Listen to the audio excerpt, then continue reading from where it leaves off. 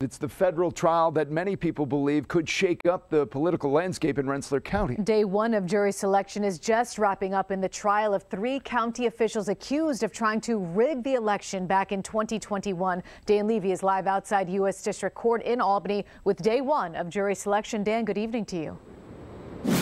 Good evening, Sabrina and Mark. They began early this morning and they wrapped up within the last hour. 12 jurors are now in place, and four alternates still need to be uh, selected. That'll take place the first thing tomorrow morning. Over the course of the next three weeks, defendants Rich Crist, Jim Gordon, Leslie Wallace might hear from up to 50 government witnesses. Now, if that were to happen, if they were to be found guilty of violating constitutional rights of others, the punishment could be severe. They are accusations against people who wield a great deal of political power over others, but as of now, that's all they are accusations.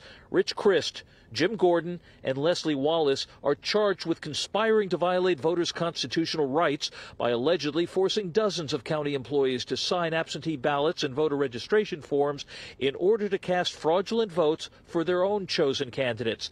Steve McLaughlin is the Rensselaer County executive who appointed them all. He is not charged in this alleged scheme but it is thought to be McLaughlin who the defendants were allegedly trying to help reelect. Fifty names were on the government's witness list, among them half a dozen FBI agents, several alleged victims of the alleged crime, and several current and former elected officials, including McLaughlin but also former GOP Elections Commissioner Jason Schofield, who's currently awaiting sentencing for his conviction in a voting fraud case, along with Kim Ashe McPherson, the one time Troy councilwoman who also got tangled up in a fraudulent election scheme. Well, I did mention that the consequences are severe for violating the constitutional rights of others. If found guilty, they could face 10 years in prison. Now, in addition, Wallace is also charged with lying to the FBI, and that carries a maximum penalty of five years. Jim Gordon is also charged with witness tampering, and that carries a maximum penalty of up to 20 years. And again, 12 jurors have been seated. Four alternates need to be selected. That'll take place tomorrow morning.